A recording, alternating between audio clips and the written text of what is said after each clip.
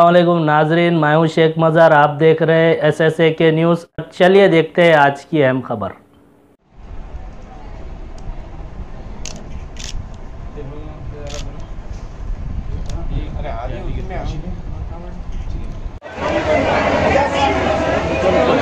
शेरू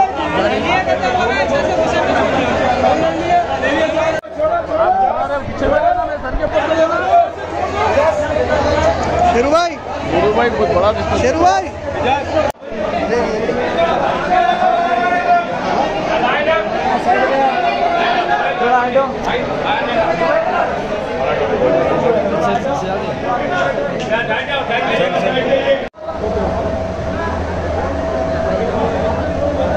आमिर भाई जमीर साहब। जरा आमिर बाबू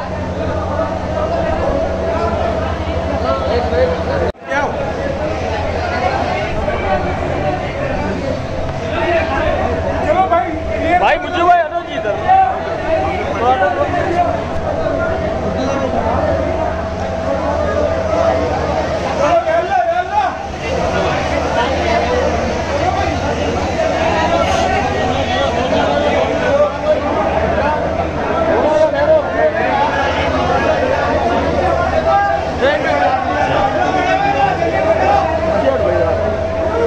शेरू भाई शेरू भाई थोड़ा थोड़ा जरा जरा हाथ पकड़ो अब यहाँ तेलंगाना प्रदेश कांग्रेस कमेटी के जानिब से आज हमारे अस्तरी भाई कॉन्टेस्टेड कॉरपोरेटर साहब जो दमीपुरा के कॉन्टेस्टेड कॉरपोरेटर हैं और हमारे साजिद शरीफ साहब, जो सबका कॉन्टेस्टेड कॉरपोरेटर हैं। इनकी सदारत में आज हम लोग यहाँ पे आए हैं।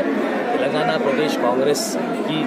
जानिब से हम लोग यहाँ पे आके आज बीबी के अलावे को रट्टी और एक नजराना पेश किए और हम लोग यहाँ पे दुआ कर रहे हैं कि इन आने वाले 2022 तेईस के इलेक्शन में इन कांग्रेस एक अच्छे अख्तदार से हुकूमत बनाए और वापस से कामयाब हो और हम सबका ला हो हम माइनॉरिटीज़ का भला हो सूर वी का अलावा में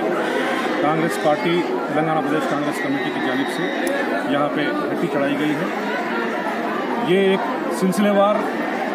निज़ाम सरकार के ज़माने से ये सिलसिलेवार चलते आ रहा है और जितने भी हुकूमतें उसके बाद आए हैं तमाम हुकूमत के या सरबरा हो या फिर पार्टी के प्रेसिडेंट हो तमाम ने यहाँ पर शिरकत की है और उस तरह के वही तहजीब को मुकर करते हुए आज कांग्रेस पार्टी की तरफ़ से मोहम्मद अ, समीर साहब उस्मान साहब